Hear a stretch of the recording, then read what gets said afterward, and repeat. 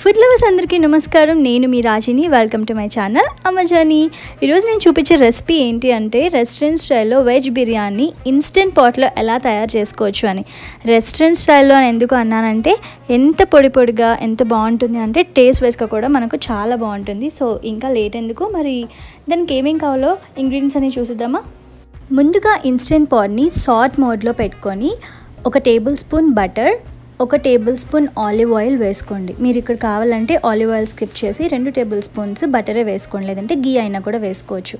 అది ఇలా కొంచెం వే వేగిన తర్వాత షాజీరా జీలకర్ర సోంప్ కొంచెం ఏలకల పొడి కొంచెం దాల్చిన చెక్క లవంగాలు అలాగే బిర్యానీ ఆకు. నేను కొంచెము వామ్ కూడా యాడ్ చేసుకుంటాను. ఎందుకు అంటే మనకు ఇవన్నీ మసాలాలు పడినప్పుడు కొంచెం డైజెషన్ ప్రాబ్లం వస్తూ ఉంటుంది చాలామందికి అండ్ హెల్త్ వైజ్గా కూడా మనకు వామ్ మంచిది కాబట్టి కొంచెం వామ్ అన్ని ఇంగ్రీ అన్నీ నేను చేసే వంటల్లో వేసుకుంటాను. ఇవన్నీ కూడా వేసి చక్కగా సువాసన వచ్చేంత వరకు వేయించండి. ఆ తర్వాత సన్నగా తరిగి పెట్టుకున్న ఒక ఉల్లిపాయ. నేను ఇక్కడ మీడియం సైజ్ ఎరగడ తీసుకున్నాను. ఇవన్నీ కూడా వేసి ఒక ట్వంటీ టు థర్టీ సెకండ్స్ వేయించండి. మామూలుగా మనం అన్నీ ఒకటేసారి వేసేస్తే ఏంటంటే పచ్చి వాసన ఉంటుంది. కొంచెం వేయించి చేసుకునే దానికి పచ్చి వాసన లేకుండా చేసుకునే దానికి డిఫరెన్స్ చాలా ఉంటుంది. దాని తర్వాత ఒక టేబుల్ స్పూన్ అల్లం వెల్లుల్లి పేస్ట్ ఈ అల్లం వెల్లుల్లి పేస్ట్ కూడా ఈ టైంలో వేసుకోండి. వెజిటబుల్స్తో పాటు కాకుండా. అల్లం వెల్లుల్లి పేస్ట్ కూడా కొంచెం చక్కగా వేయించుకోండి. ఇది చాలా క్విక్గా అయిపోతుంది. అండ్ మనకు కరెక్ట్గా అన్ని వెజిటబుల్స్ చాప్ చేసి పెట్టుకుంటే ట్వంటీ మినిట్స్ లోపలే మనకు రెసిపీ అనేది అయిపోతుంది అనమాట అండ్ గెస్ట్ వచ్చేటప్పుడు కానీ మనం టయర్డ్గా ఉన్నప్పుడు కానీ బోర్ కొడుతున్నా ఏదైనా ఫుడ్ తినాలనుకున్నా కూడా ఇన్స్టెంట్గా చేసే రెసిపీ ఏంటంటే నేను వెజ్ బిర్యానీ. ఇన్స్టెంట్ పాట్లో అయితే జస్ట్ ఒక ట్వెల్వ్ మినిట్స్ టు టెన్ మినిట్స్లో అయిపోతుంది.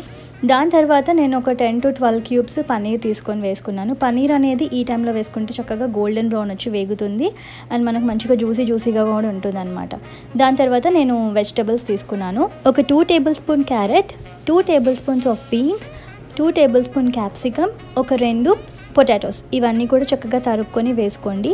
నేను ఇక్కడ కొన్ని డైస్గా చేశాను కొన్ని సన్నగా తొర పొడుగ్గా తరుక్కున్నాను. ఎందుకంటే మనం స్పూన్స్ తీసుకున్నప్పుడు అన్నీ డైస్గా ఉన్నా బాగుండవు అన్నీ మరి సన్నగా పొడుగ్గా ఉన్నా కూడా బాగుండవు. జనరల్గా మనం రెసిపీస్ ఏమైనా చేసేటప్పుడు దానికి తగ్గట్టు చాప్ చేసుకుంటే కొంచెం టైం ఉన్నప్పుడు చేసుకుంటే టేస్ట్ కూడా చాలా బాగుంటుంది తినాలనిపిస్తుంది.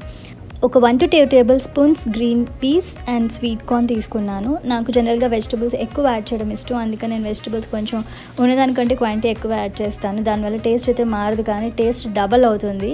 సో ఇవన్నీ కూడా చక్కగా వేయించేసుకోవాలి. ఒక ట్వంటీ టు థర్టీ సెకండ్స్ వేయించుకున్న తర్వాత ఒక హాఫ్ టీ స్పూన్ పసుపు దానికి తగ్గ ఉప్పు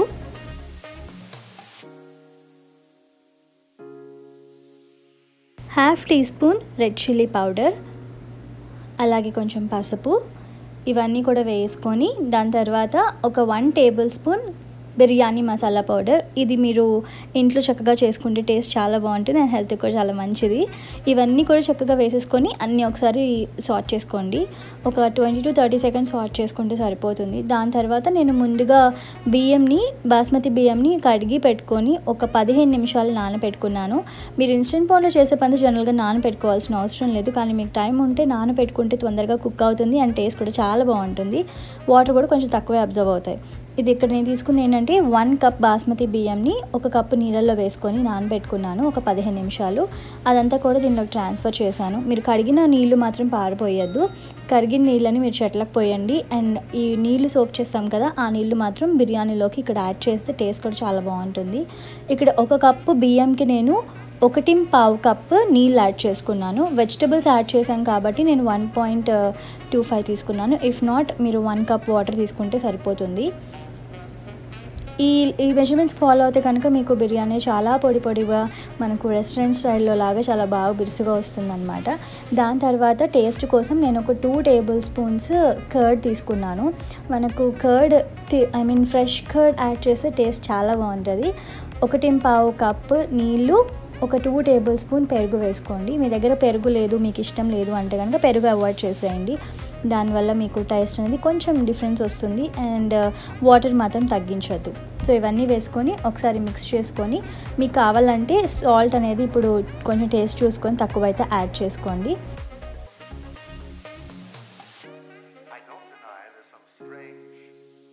బిర్యానీ అంటే పుదీనా కొత్తిమీర జీడిపప్పు లేకుండా అస్సలు బాగుండదు. కాబట్టి ఒక టూ టేబుల్ స్పూన్స్ మీ ఇంట్లో కనుక ఫ్రెష్గా ఉన్న పుదీనా ఉంటే అలా వేసేసుకోండి. దాని తర్వాత ఒక two to three tablespoons తరిగిన కొత్తిమీర వేసుకోండి. నా దగ్గర ఆల్రెడీ రోస్టెడ్ క్యాషెస్ ఉన్నాయి కాబట్టి నేను రోస్టెడ్ క్యాషెస్ కూడా యాడ్ చేశాను.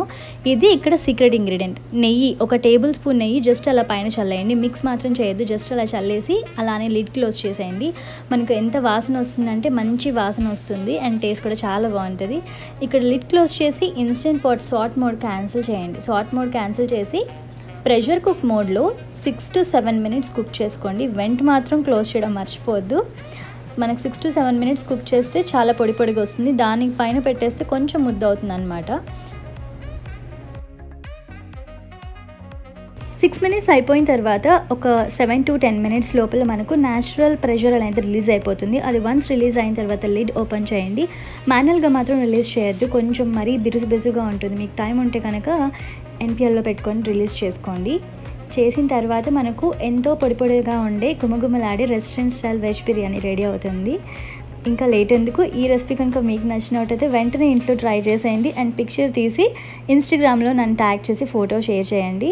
ఈ వీడియో కనుక మీకు నచ్చినట్టయితే లైక్ చేయండి షేర్ చేయండి కమెంట్ చేయండి. సబ్స్క్రైబ్ చేయడం మాత్రం మర్చిపోవద్దు. అలాగే పైన బెల్ ఐకాన్ ఉంటుంది దాన్ని ట్యాప్ చేసేయండి. మళ్ళీ ఒక మంచి రెసిపీతో మీ ముందుకు వచ్చేస్తాను. Thank you so much for watching ఇట్లు మీ రాజీ అమ్మ జానీ.